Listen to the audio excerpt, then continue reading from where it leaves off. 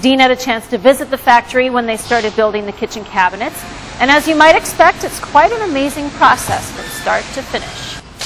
This one's all set to go? All right, so finished cabinet done about five minutes ago. A point of interest that about 50 sets of hands touch this to make it a final product. So we thought it'd be interesting to take a quick trip through the facility with Steve Westlund to find out a little bit more about what it takes to put together custom cabinets like the ones we're going to be installing. Well, Steve, I got to tell you, it's a big, busy place, but uh, tell me, how do you how do you go about making a cabinet here?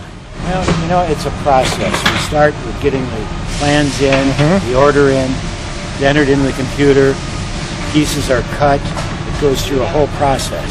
The first stop is the component center, where all the component pieces are cut. Uh, the milling is done there, the face frame material, the door panel material, the drawers, the, the door uh, components are all cut in the component center. Talk about cool tools. They've got an optimizing rip saw for initial cuts, a six-headed shaper for crown and trim, and another machine for turning wood strips into door panels. Very slick. From the component center, it would go into the panel door section where they actually cut the panels to size, cut the stiles and rails to size, and then assemble the doors. Now the rails and stiles also get milled for joints on the ends and slots along the edges for the door panels. The panels are not glued or nailed, but little space balls hold them in place. What the space balls do is hold that center panel tight in the, the frame because that center panel is not stapled or fastened into that door. If it was fastened, it would definitely split with the expansion and contraction. You know, it's hard to control humidity in any state. After the doors are assembled, then it goes through a shaper where they would shape the edges of the door to whatever was specified. It routes the shape and sands it in one operation. At the same time, they're doing face frames and drawers and getting them all ready for sanding.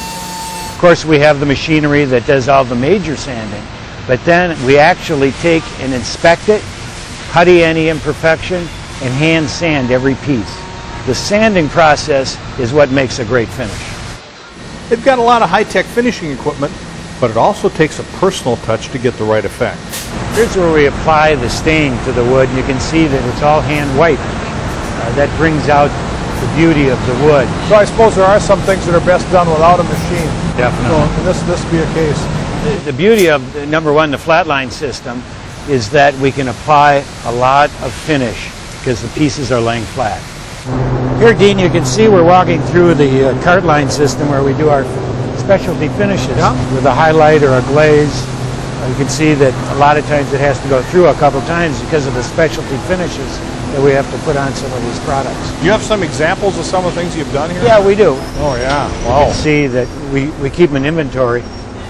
You can see that in this case, we stained the cabinet blue and then painted it and then wore it off.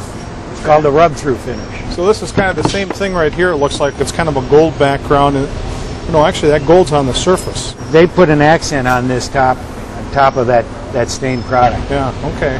Here's another. I guess uh, this one you're painting a, a red color underneath, blue on the top, Right. stressing it. This is a great door for us because we get no callbacks on damage, don't nicks, or chips. How can you possibly complain? Right. Well, that's the owner's, isn't it? Yeah, he uses his own product. Well, that's always a good sign, It's right? great.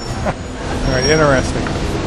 Now, the last parts of a typical cabinet would be the sides, the bottoms, and the backs, and they've gone high tech for those too. All the panel material is cut on a CNC router, and I always like to say it's like magic. It does everything from cut the panel to the size it's needed. It cuts any dado in that panel. It drills the shelf holes in that panel.